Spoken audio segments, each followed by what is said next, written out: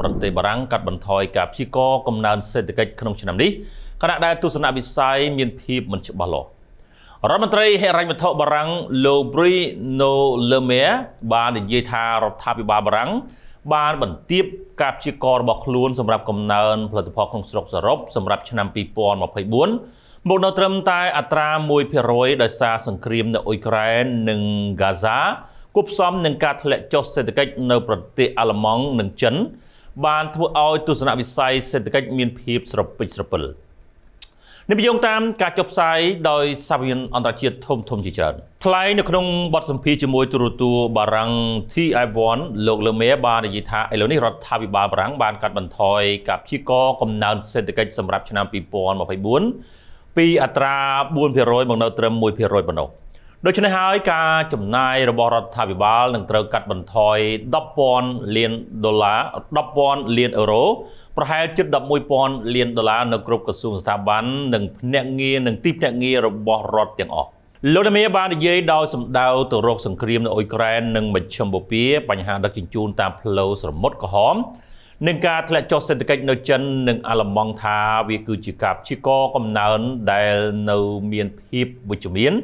ប៉ុន្តែត្រូវគិតពីបរិបទភូមិសាស្ត្រនយោបាយថ្មីលោកបានបន្ថែមថាវានឹងមិនមានការដំឡើងពន្ធហើយក៏គ្មានការកាត់បន្ថយចំណាយរបស់របបសន្តិសុខសង្គមដល់ប្រជាពលរដ្ឋនោះដែរប៉ុន្តែលោកបានសង្កត់ធ្ងន់ថាគ្រប់ក្រសួងនិងស្ថាប័នរបស់រដ្ឋាភិបាលទាំងអស់នឹងត្រូវកាត់បន្ថយចំណាយគ្រប់គ្រប់ផ្នែកហើយថារដ្ឋនឹងកាត់បន្ថយភ្លាមៗក្នុងពេលប្រមាណថ្ងៃខាងមុខនេះ ដែលមានចំនួនជិត11,000លានដុល្លារអាមេរិកលោកលាមីក៏បាននិយាយដែរថារដ្ឋាភិបាលនឹងធ្វើឲ្យប្រកាសប្រជាបារាំងនៅតែកំពុងដើរលើផ្លូវគោរពតាមគោលដៅរបស់ខ្លួនក្នុងការកាត់បន្ថយអនុភាពថវិការដ្ឋក្នុងឆ្នាំ2024មកនៅត្រឹម4កណ្ដោះសញ្ញា4%នៃផលិតផលក្នុងស្រុកសរុបហើយថារដ្ឋាភិបាលកំពុងរក្សាជំរើសនៃការអនុវត្តថវិកាបន្ថែមនៅរដូវក្តៅអាស្រ័យលើកលៈទេសៈសេដ្ឋកិច្ច និងស្ថានភាពនយោបាយការព្យាករថ្មីរបស់រដ្ឋាភិបាល គឺកាន់តែស្របទៅនឹងការបន្ទាបទស្សនវិស័យកំណើននាពេលថ្មីថ្មីនេះដោយគណៈកម្មការអឺរ៉ុបអង្គការ OECD និងភ្នាក់ងារស្ថិតិបារាំង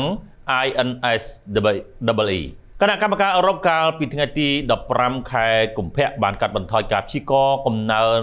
ផលិតផលក្នុងស្រុកសរុបសម្រាប់ឆ្នាំ2024របស់ខ្លួនសម្រាប់ប្រទេសបារាំងពីអត្រា1កន្ដោះសញ្ញា2%មកនៅត្រឹម0កន្ដោះសញ្ញា9%ដែលគេបានឃើញនៅក្នុងខែវិច្ឆិកាហើយវាបានកាត់បន្ថយការព្យាករសម្រាប់ប្រទេសអាល្លឺម៉ង់ពីអត្រា0កន្ដោះសញ្ញា8%មកនៅត្រឹមតែ0កន្ដោះសញ្ញា3%។